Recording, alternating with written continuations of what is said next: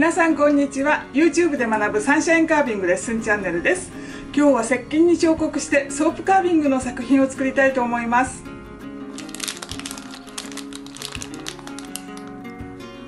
はい今日はサンシャインスクールソープカービングレッスン58番目のデザインを作りたいと思います。今回もプチベリーを使います。ペリカン石鹸のプチベリー。これのロゴの部分を切り取ります。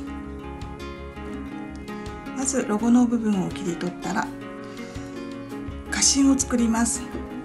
花芯用のリングはサンシャインスクールのオリジナルリングですけど花芯用リングを使います。花芯用リングこんな感じで。12345イプあります。ちっちゃな花芯から大きな花芯までいろんな大きさが作ることができます。こんなちっちゃな花芯でバラのちっちゃいバラとかあのミニローズとか作ることもできます。いろんな形であの花芯の大きさができるのであの間違いなく作ることができます。で今回は一番小さいものから3つ目の大きさのものを使います。以前使用していた家臣用リングがこの深さでしたので今こんな感じでちょっと長く作っているので深い家臣も作ることができますしあの家臣を作った時に埋まってしまわないですんなり取ることができます。ではこの家臣用リングを使ってまずは家臣を作ります。石鹸の中央部分に家臣用リングを合わせます。合わせたら両方の親指で均等に押していきます。そして簡単に上に引き上げます。これで過芯の部分の90度の線がもう出来上がっています。まずあのカービングをして最初にあの迷うのはこの過芯がよくできないことなんですけれど慣れるまではこういったリングを使ってきちんとあの過芯が作れると作品も綺麗な仕上がりになります。でまっすぐ90度にあの切り込みが入っているのでナイフを少し寝せて斜め45度方向からナイフを入れて面取りをしますせっかくあの90度に綺麗にラインが入っているのでナイフを斜めすぎて中に傷をつけないように気をつけながら面取りをします。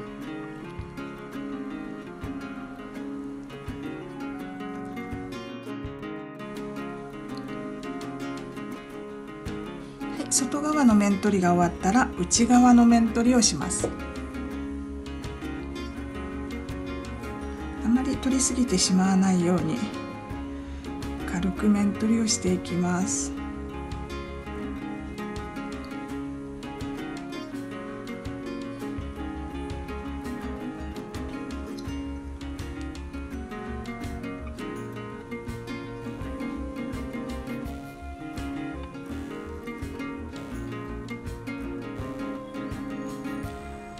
リングを使うとすごく綺麗に花芯を作ることができます花芯はあのサンシャインスクールのオリジナルのものなのであのもしご興味がある方は下の概要欄に貼り付けておきますので花芯用リングセットで販売してますのでご興味ある方は是非そちらの概要欄の方も確認してくださいお問い合わせの電話もあのテロップで入れておきますのでそちらであのお問い合わせいただいても結構です。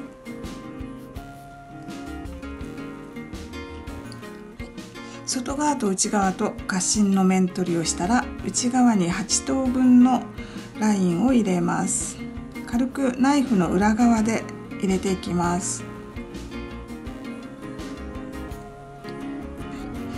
入れたらこの8個のラインの下に丸く花びらを作っていきます。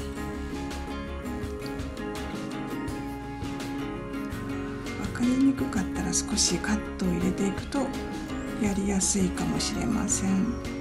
カット入れます。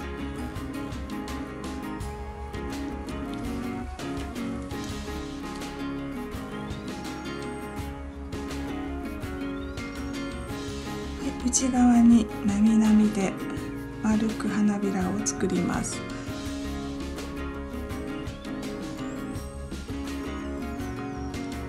8枚作っていきます。ギザギザなみなみで花びらを丸く作っていきます。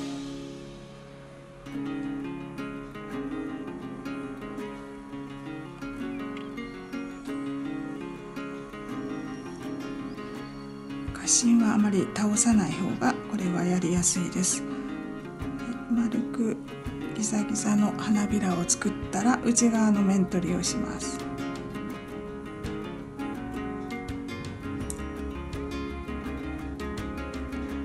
同じ幅で面取りをしていきます。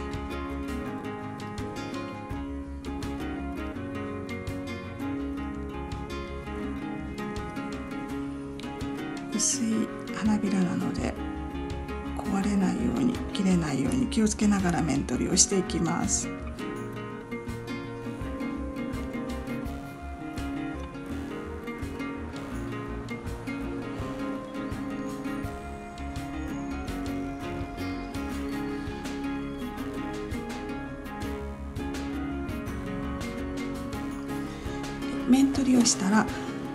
花びらを入れた手前に同じように花びらを作っていきます。同じように重なるように手前に重なるように丸い花びらを作っていきます。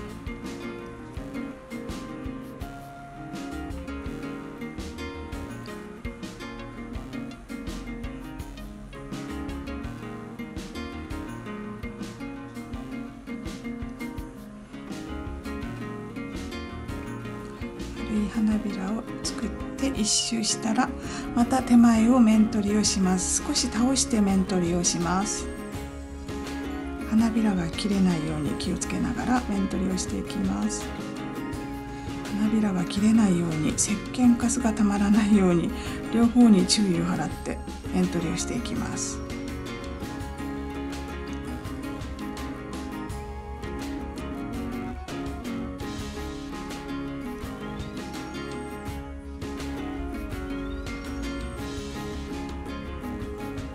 面取りをした部分が丸くなるように重なるように花びらを作ります。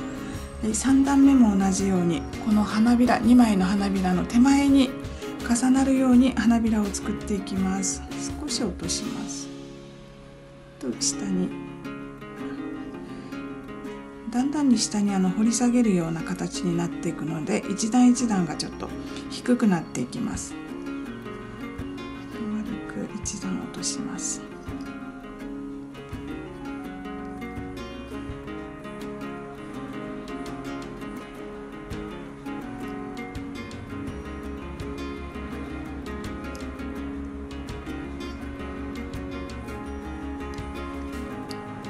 でこの花びらの下にまた丸く花びらを作っていきます。重ねるように作ります。だんだん小さくなっていきます。今回でこのデザインで、えー、と58番目のデザインになります。で一番最初からあの見たいという方はあの何度も言ってるんですけれど、えー、とこの動画で、えー、サンシャインチャンネルで検索をしていただくと私のページに飛びます。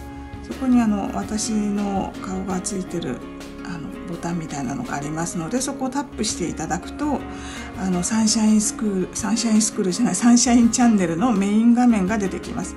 そこのメイン画面の上の方を見ていただくといろいろボタンがあってあの高く評価した動画とかあのアップロードした動画とかいろいろあるのでその中の再生リストというのを押していただくとあのいろいろ種類ごとにあのリストを作っています。その中でソープカービングの早送りとソープカービングの解説付きとあのキャンドルカービングとかお野菜カービング果物カービングっていう項目を分けていますのでそちらの方からそのままこれ下に掘り下げていきます。そちらの方から見ていただくとあの1番から見ることができます。続けてずっと見ることができます。いろいろあのご意見もいただいているのでできるだけこう皆さんのご意見を聞きながらやってるんですけれどなかなかこの撮影が難しくてこういうふうにあの向こうを向けると今度私が見えないんですね。掘れ掘れないんですね見えないので。あの大体のこうバラとかだったら勘で掘れるんですけどこういうちょっと細かい作業になるとあのこれは今カメラの方を向けて自分は見えてないんですけどやっぱりこうやって彫りたいんですね。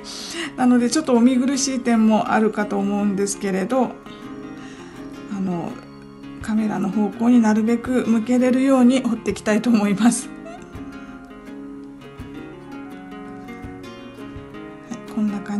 下の方に掘り下げていきます。掘れるところまで掘っていきます。再生リストの方はあのソープカービング野菜カービングフルーツカービングといろいろあるんですけどその他にもあのタイの情報とか韓国の情報とかあのいろいろ面白いところこういうところに行ってみたみたいなのとかあとそのこのカービングで使ってる材料を買ってるところとかを動画であの出してますので是非参考になれば嬉しいなと思います。下の方まで掘っていきます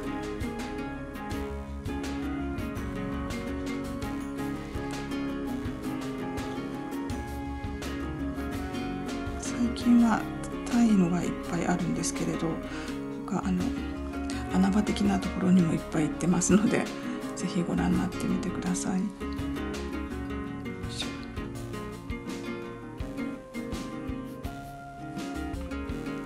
掘れるところまでずっと下まで掘り下げていきます。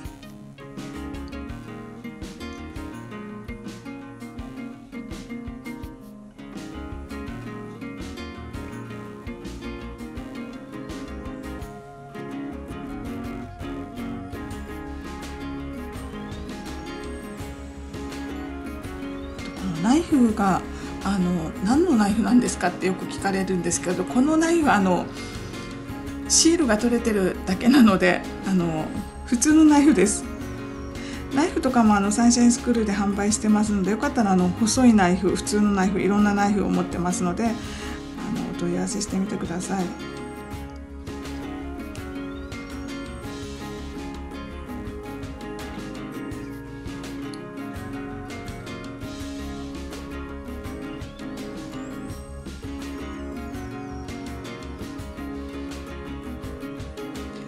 れるところまで掘っていって今度は外側に8等分のカットラインを入れていきます。8等分。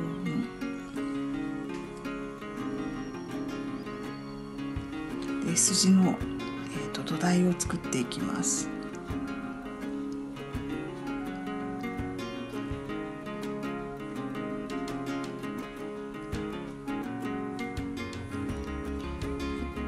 等分。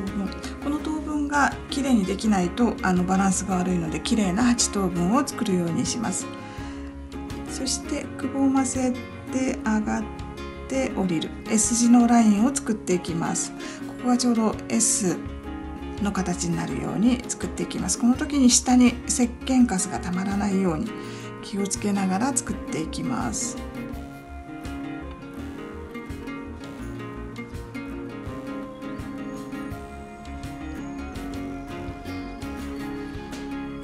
せて上がって降りる。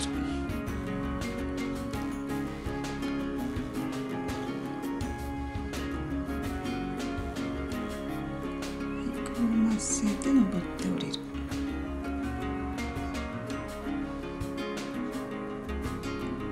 これを8個作ります。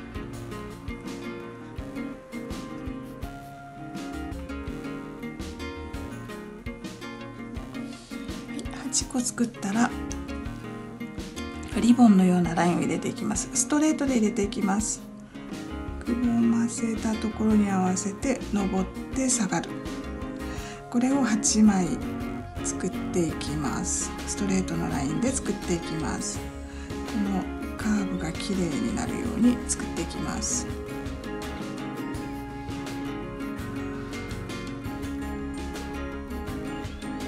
石鹸の上に当たらないように内側のこの斜めになっているところに線を入れていきます。くぼませて上に向かってはい出来上がったら今度は少し面取りをします。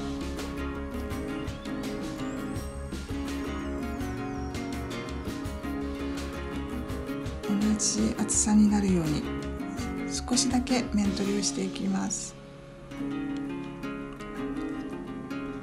面取りをしないでそのまま次の作業に移ってもいいんですけどちょっと分かりやすくするために面取りをしてみます。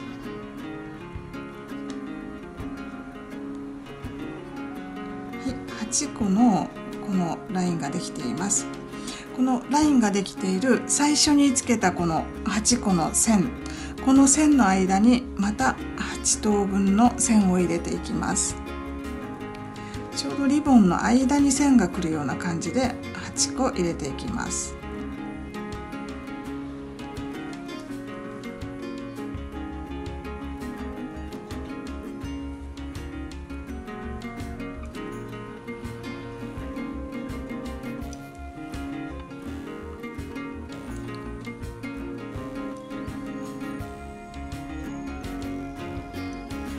8本のカット割りができたら今度はこのこの間にくぼませて上がって下がるラインを作っていきます。S 字のラインを作っていきます。ちょっと大きくなります。くぼませて上がって下がる。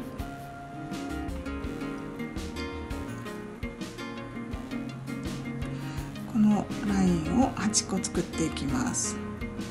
S 字のラインを作っていきます。土台になる部分です。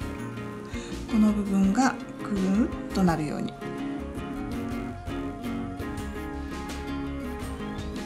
さっきの面取りをしなくてもしてもどちらでも構わないのでリボンの下に交互になるように。S 字の土台を作っていきます。同じ幅で作っていきますよ。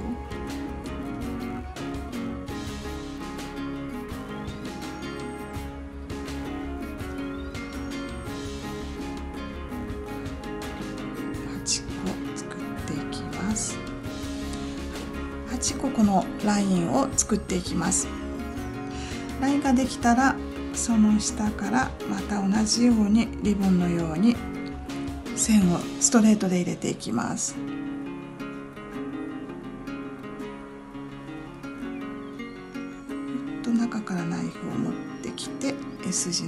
を入れていきます。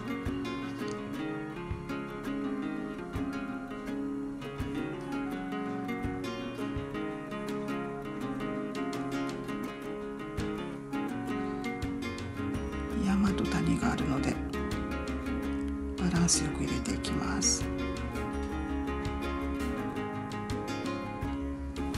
はい、また同じような作業をやっていきます。ちょっと分かりやすいように。軽く面取りをします。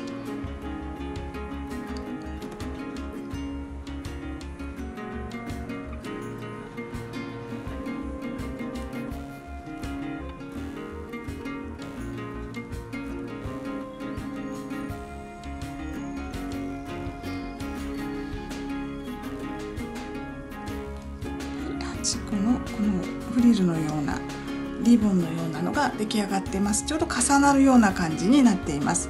また同じように8個のカット割りをしていきますが一番最初のこの8個カット割りをした下にちょうどくるように入れていきます。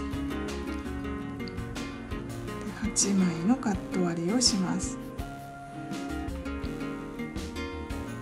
一番最初に切り込みを入れた8個の延長線上になるように入れていきます。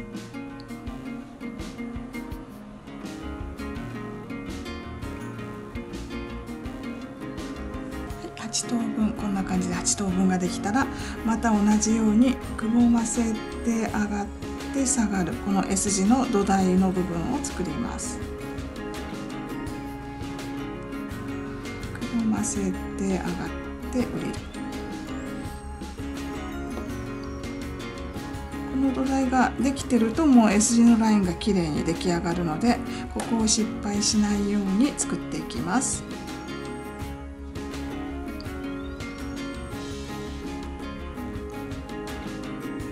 ぼませて登って下がる。くうませて登って下がる。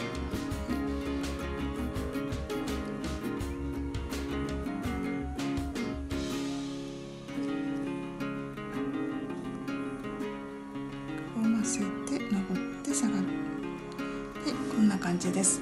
また同じようにストレートのラインを入れていきます。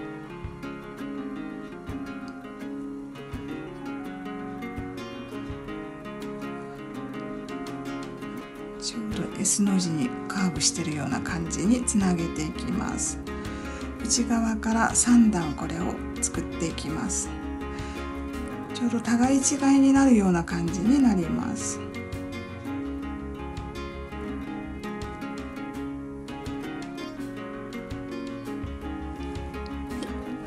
切り込みを入れたら今度は面取りをします。取りをする時にちょうどなんか波というか流れるような感じでここを入れていくと処理がとても綺麗な感じにできます。あとは全然あの整えないでいいような感じで綺麗に取っていきます。S 字は結構難しいのでこういったデザインでいっぱい練習するとお花も可愛く出来上がるし S 字の練習もいっぱいできるのでいいんじゃないかなと思います。こんな感じで出来上がりました S 字のカットの練習でした。はい、最後までご視聴いただきありがとうございました。この動画がお役に立ちましたら、グッドボタンやチャンネル登録、またコメントもお待ちしておりますのでよろしくお願いいたします。ありがとうございました。